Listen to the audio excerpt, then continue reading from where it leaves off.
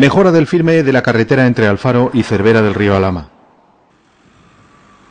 La Dirección General de Obras Públicas ha invertido 485.000 euros en el refuerzo del firme de un tramo de 4 kilómetros de la carretera LR 289 que comunica las localidades de Alfaro y Cervera del Río Alama a través de las ventas del baño. El director general de Obras Públicas y Transportes, Víctor Garrido, ha comprobado junto a la alcaldesa de Alfaro, Yolanda Apreciado, el resultado de estas actuaciones que han mejorado la seguridad vial en una carretera que tiene una importante componente de tráficos pesados y agrícolas. La empresa riojana Ismael Andrés ha ejecutado la actuación que ha incluido la renovación y el saneamiento del firme en los 7 metros de anchura de esta calzada, con dos carriles de 3 metros y sendos arcenes de un metro cada uno. Eh, ya la inversión importante que se hizo fue la propia rotonda eh, al acabar ahora esta inversión se hizo una rotonda que yo creo que era importantísima porque sí que era el núcleo de, accidentes y una vez hecho ese nexo de unión que creo que lo que es la rotonda se realizó en la legislatura anterior 2007-2011 ahora el refuerzo de este firme yo personalmente entiendo que es vital.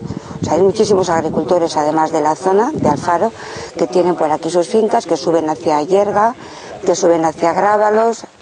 además de todo el tráfico rodado pesado que viene por esta carretera, que es mucho. Diariamente tenemos el tráfico que va a Geiz Ibérica y es, la comunicación, el enlace con la Nacional 232, o sea que es que es importante, sin ninguna duda. Estamos en una carretera de enorme importancia en la Rioja Baja que comunica dos comarcas y que presentaba signos evidentes de deterioro. En este sentido, bueno, pues lo que hemos hecho ha sido renovar el firme,